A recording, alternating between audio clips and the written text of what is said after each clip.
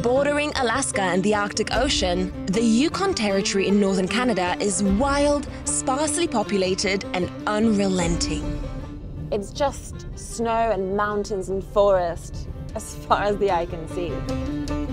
This year marks 125 years since one of the most frantic gold rushes in history reached its peak. When gold was discovered here, over 100,000 prospectors traveled north hoping to get lucky, but the extreme conditions caused many to turn back. Many of those who did make it settled here in Dawson City, building a new life for themselves and their families, whilst First Nations people who had lived here for generations had to move upriver in an effort to protect their way of life. So the population of this town exploded from 1,500 to 30,000 people during the three-year rush. Roughly $29 million worth of gold was pulled from the ground around here during the three-year rush, but only a few made their fortune. Many who missed out found other reasons to stay, like Bonnie's grandfather. A local legend, Percy DeWolfe risked his life delivering mail along the Yukon River. His commitment to providing a lifeline between isolated communities in this frozen wilderness earned him the title Iron Man of the North. To honor him, the town now hosts an annual dog sledding race. The grueling route follows Percy's 210 mile mail trail from Dawson City across the border into the American state of Alaska. He was that type of a person. If he could come across Canada for the gold rush, he could do anything. like... There are dogs everywhere as the town gears up for tomorrow's race. What kinds of things are you checking for? Um, a little bit of everything, just kind of your standard like physical exam on a dog. Make sure that you don't have any signs of infection or like any wounds or anything, but mainly because they're going to be running for hundreds of miles. But it's not just the dogs that are at risk. Traveling through the night in unpredictable weather conditions means the race can very quickly turn deadly. Two weeks ago tonight, we had a major blizzard event. It could be 30 below, so you know, just prepare for that right now. Sounds really intense. Kyla.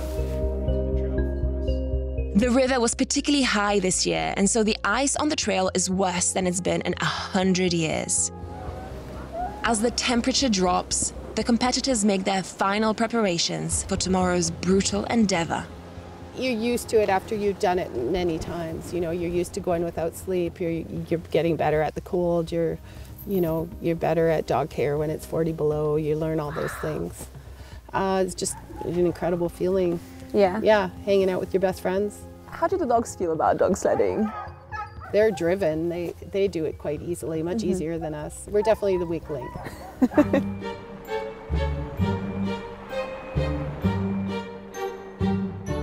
Back in town, there's one more tradition that's an important part of the race. Part of what we do to commemorate Percy's life is to actually send mail. Mm-hmm. And so people actually have letters. We actually deliver them legally to the post office. You do? Oh, yeah. And they put them in a package and we send them with the first musher to leave the starting line. Oh my gosh. So I'm just going to steal a moment and write this letter right here in front of Percy himself. In the spirit of Percy, keep on adventuring. Love, The Travel Show, BBC.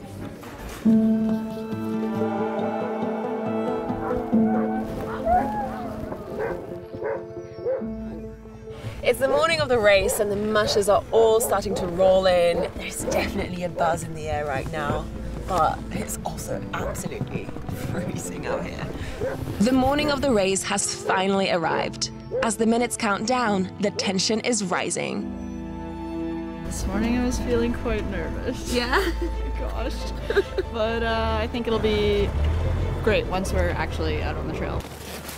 We've got all the dog food, mandatory gear, so axe, uh, fuel, cooker, and a minus 40 sleeping bag, snowshoes. Whenever I'm out on the trail, I do always imagine what it would have been like back in the day. And I would imagine that also picturing someone who actually had to do this every single week, no fail. I had no idea it was a Yeah. loop like that. Yeah. Eight days, getting people's mail. I would be taking like, pregnant women into town I by know, dog right? sled. That's pretty cool.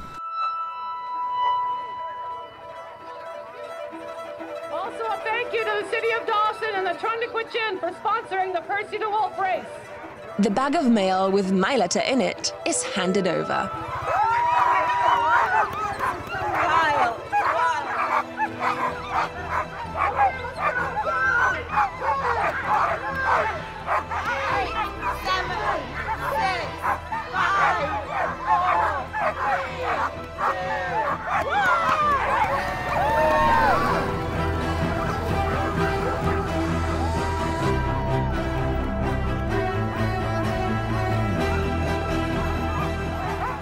Competing in these races today is a testament of the resilience needed to live in these conditions.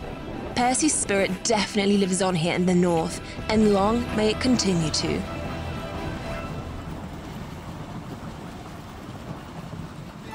The mushers could be out there for up to 48 hours, which is more than me and the crew could handle. But Ayana has provided us with a little insight into just what it was like. It's so peaceful out here and it's snowing. It's not quite a whiteout. It's not snowing that hard, but yeah, it's kind of eerie in a sense. It's very peaceful. I've heard a few ravens calling, but mainly just the pitter patter of the dog feet. And the results are in. The winner of this year's Percy DeWolfe race was our friend Michelle, completing it in an impressive 19 and a half hours. Ayana came third, gliding into town around four hours later. A little worse for wear, but looking surprisingly cheery.